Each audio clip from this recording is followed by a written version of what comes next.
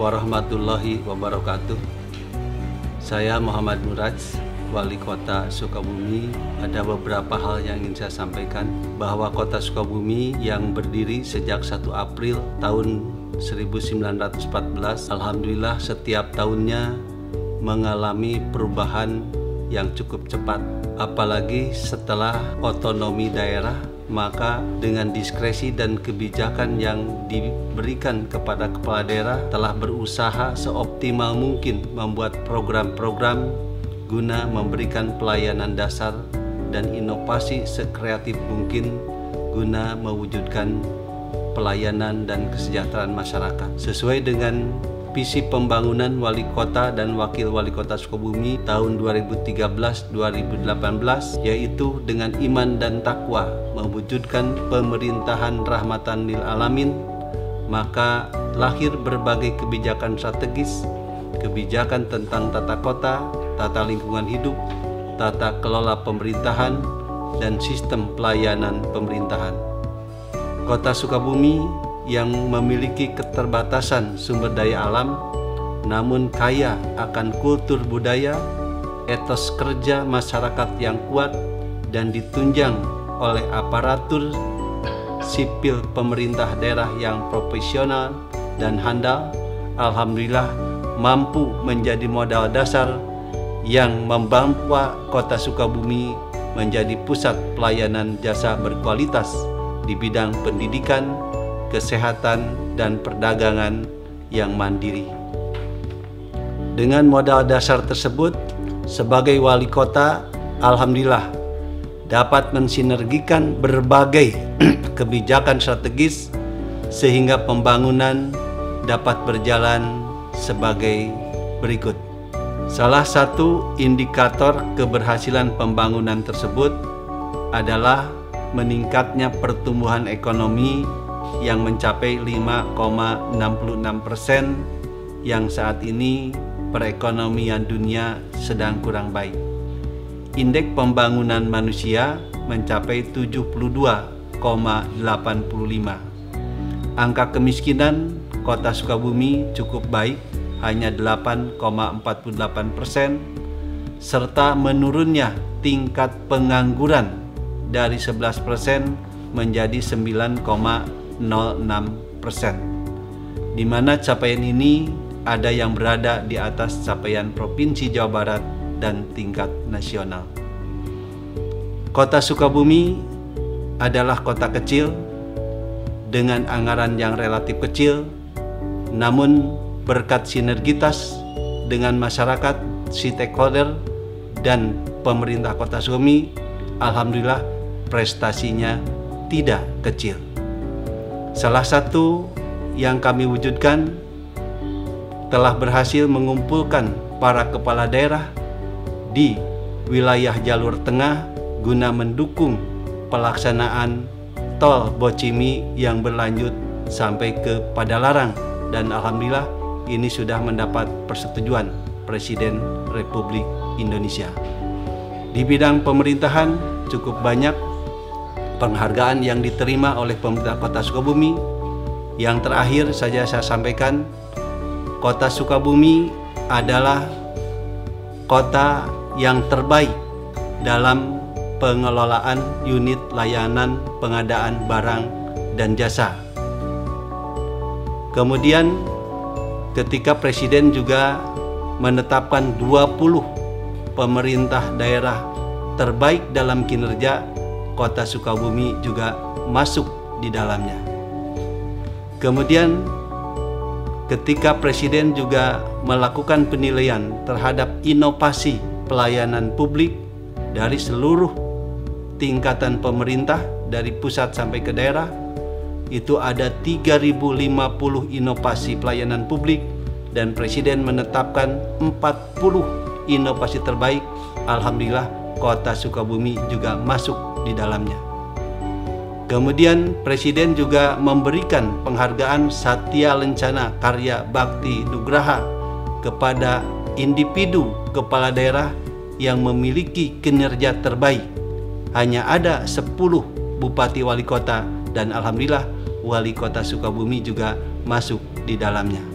Di bidang keuangan, kita sudah tiga tahun berturut-turut mencapai wajar tanpa pengecualian. Terima kasih. Wassalamualaikum warahmatullahi wabarakatuh.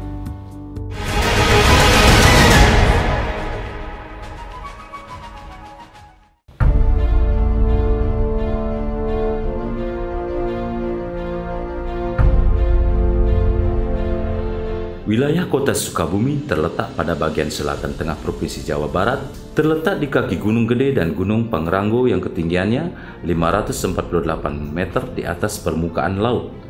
Kota Sukabumi merupakan dataran tinggi yang terletak di antara pusat pertumbuhan mega urban Jabodetabek dan Bandung Raya. Luas wilayah kota Sukabumi adalah 48 km yang terdiri dari tujuh kecamatan yaitu Kecamatan Cikole, Ciboreum, Citamiang, Limbur Situ, Warudoyong, Baros, dan Gunung Puyuh, 33 kelurahan, 355 rukun warga, RW, dan 1.550 rukun tetangga.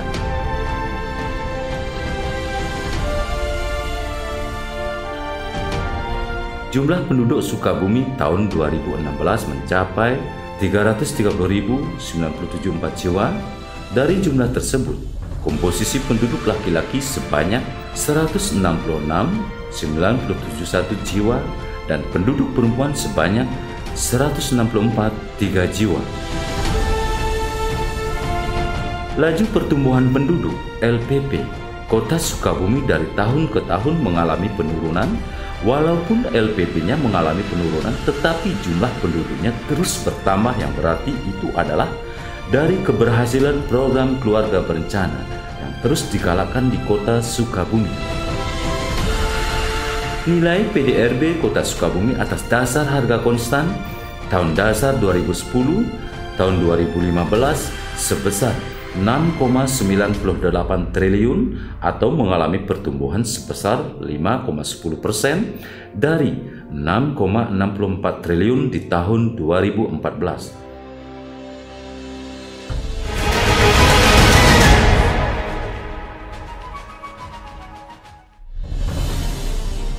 Perekonomian masyarakat kota Sukabumi didominasi oleh kegiatan di kategori G, perdagangan besar dan eceran, reparasi mobil dan sepeda motor, peranan kategori G terhadap perekonomian kota Sukabumi secara umum berkisar di angka 40% sejak tahun 2012 hingga 2015. Kecuali di tahun 2016 proporsi tersebut mengalami sedikit penurunan menjadi 39,41 persen.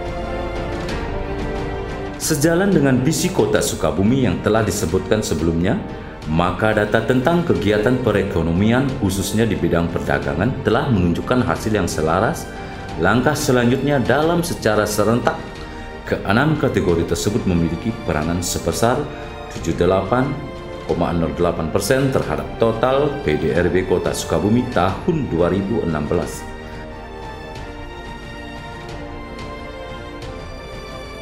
Pertumbuhan ekonomi Kota Sukabumi tahun 2012 2016 perekonomian Kota Sukabumi mengalami pertumbuhan positif dalam kurun waktu tersebut atau dapat diartikan secara umum terjadi peningkatan output produksi barang dan jasa setiap tahunnya. Laju pertumbuhan real PDRB yang dikenal juga dengan istilah laju pertumbuhan ekonomi LPE 2016 tercatat 5,80 persen PDRB atas dasar harga berlaku Kota Sukabumi tahun 2016 mencapai 9,71 triliun atau mengalami pertumbuhan 8,32 persen dibanding tahun 2015 yang sebesar 8,97 triliun. Nilai pertumbuhan yang dikandung oleh PDRB atas dasar harga berlaku masih dipengaruhi oleh faktor kenaikan harga selain peningkatan produksi.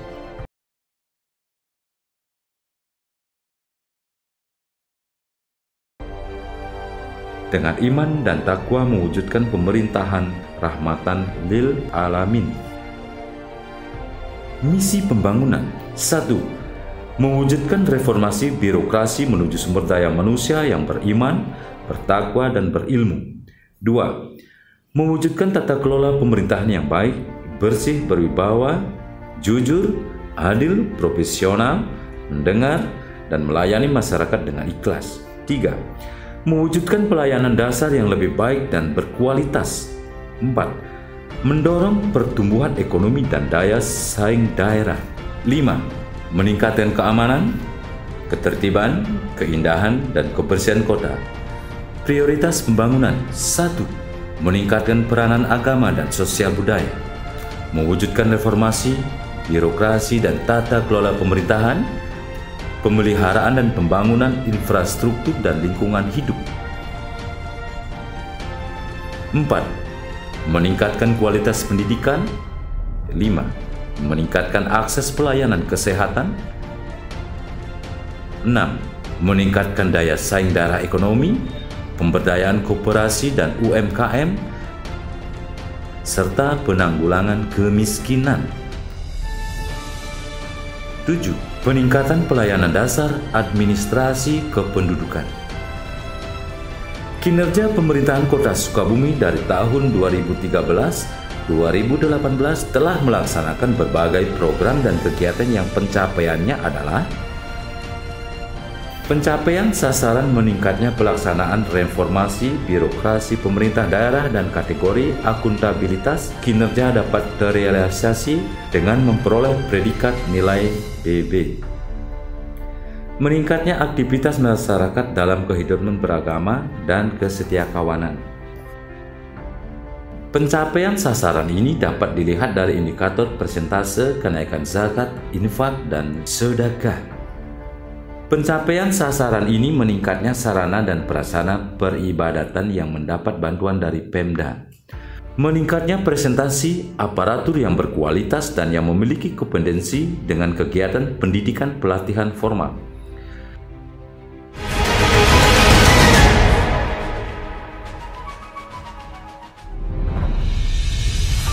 Pencapaian sasaran terwujudnya pendidikan budi pekerti, wawasan kebangsaan dan kearifan lokal bagi masyarakat dengan menerapkan kurikulum berbasis budi pekerti yang pada tahun 2013 telah ditunjuk satuan pendidikan dari berbagai jenjang dan tingkatan sekolah untuk mengembangkan pelaksanaan PBM yang berbasis pada pendidikan keagamaan dan pendidikan budi pekerti.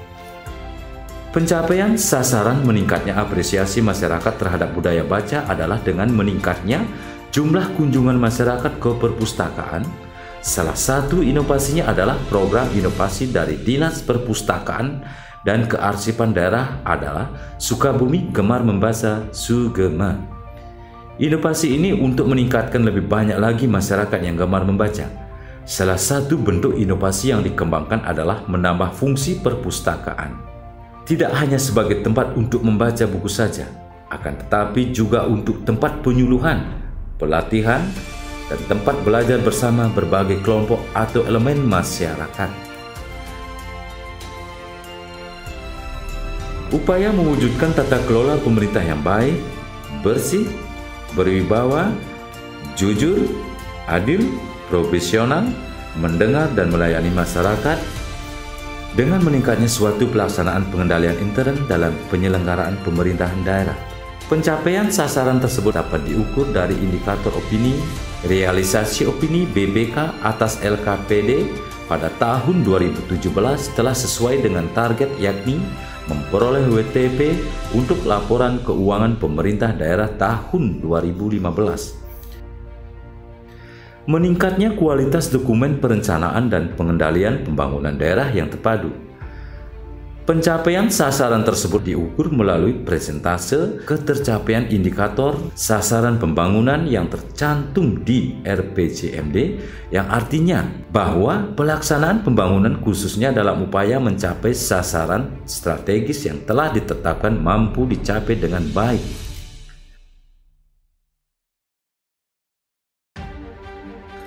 Pencapaian meningkatnya efisiensi dan efektivitas penggunaan anggaran yang seimbang dan terkelolanya aset daerah berorientasi pada kepentingan publik.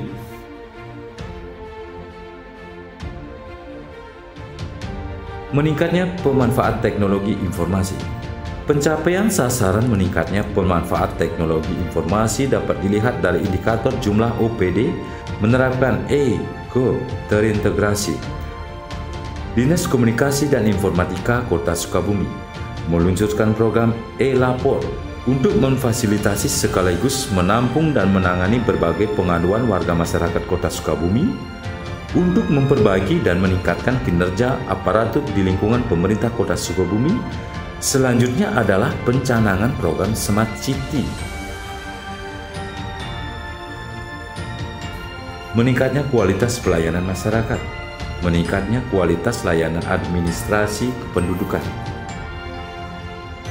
Pencapaian sasaran meningkatnya kualitas kesehatan lingkungan dapat dilihat dari indikator persentase sanitasi total berbasis masyarakat (STBM). Salah satu inovasinya adalah program Kotaku, Kota Tanpa Kumuh, dari Dinas PUPR Kota Sukabumi dengan pembiayaan pembangunan dari APBD, APBN, dan bantuan asing.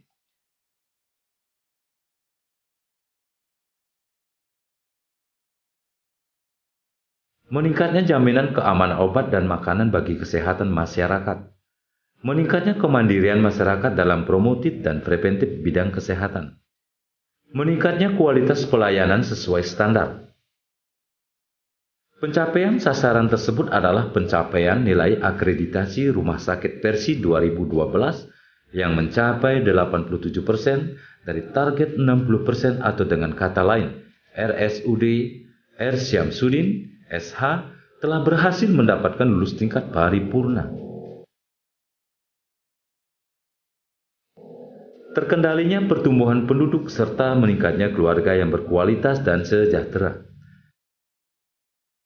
Meningkatnya peranan perempuan dalam pembangunan. Meningkatnya kualitas lingkungan hidup kota. Penanganan sampah, persentase jumlah rumah layak huni yang dilaksanakan, pencapaian sasaran meningkatnya kualitas layanan administrasi kependudukan program inovasinya adalah si jempol. Si jempol ini bertujuan untuk mendekatkan pelayanan masyarakat dengan cara membuka gerai di tempat keramaian. Mewujudkan pelayanan dasar yang lebih baik dan berkualitas. Meningkatnya pemerataan, akses, mutu, relevansi, dan daya saing di setiap jenjang pendidikan. Peningkatan angka partisipasi murni, APM, yang menunjukkan bahwa tingkat partisipasi masyarakat masih di atas rata-rata meningkatnya kinerja pendidik dan tenaga kependidikan. Pencapaian sasaran meningkatnya kesehatan ibu, anak dan gizi masyarakat, menurunnya angka kematian ibu dan angka kematian bayi. Terkendalinya kasus penyakit menular. Terwujudnya jaminan pemeliharaan kesehatan masyarakat. Pencapaian sasaran adalah terwujudnya cakupan jaminan pemeliharaan kesehatan keluarga miskin berupa program inovasi cetek Pemerintah Kota Sukabumi meluncurkan sistem layanan kesehatan gratis dengan inovasi cetek di RSUD Al-Muk, yakni sebuah skema layanan kesehatan gratis cukup dengan KTP dan kartu keluarga.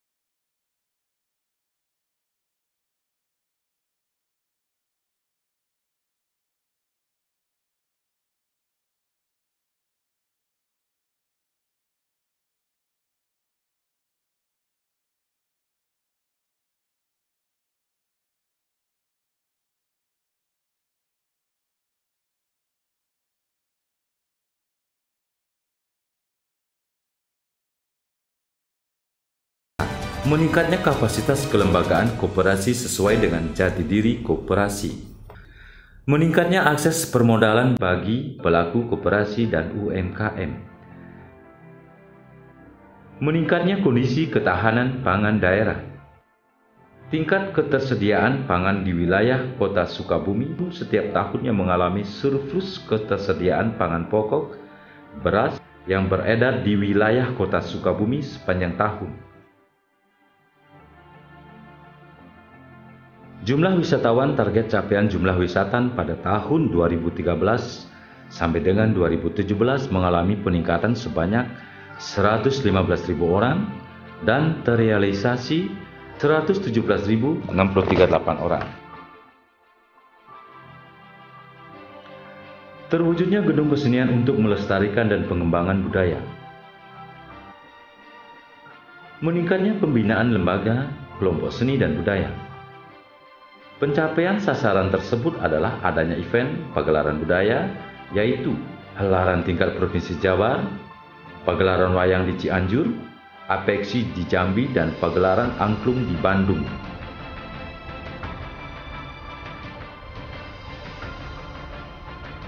Meningkatnya kemandirian dan produktivitas lembaga usaha bidang agribisnis Kota Sukabumi dalam program kompetitif tersebut mengusung program pengembangan Sukabumi sebagai agropolitan terdepan memikat. Dari berbagai subprogram yang ada di dalamnya adalah adanya integrasi antara kegiatan pengelolaan persampahan dengan agribisnis sapi dan padi organik yang merupakan pengembangan dari IMP Kota Sukabumi secara terus-menerus sampai saat ini mengembangkan konsep program tersebut dengan berbagi variasinya. Meningkatnya pembinaan olahraga yang berorientasi pada prestasi.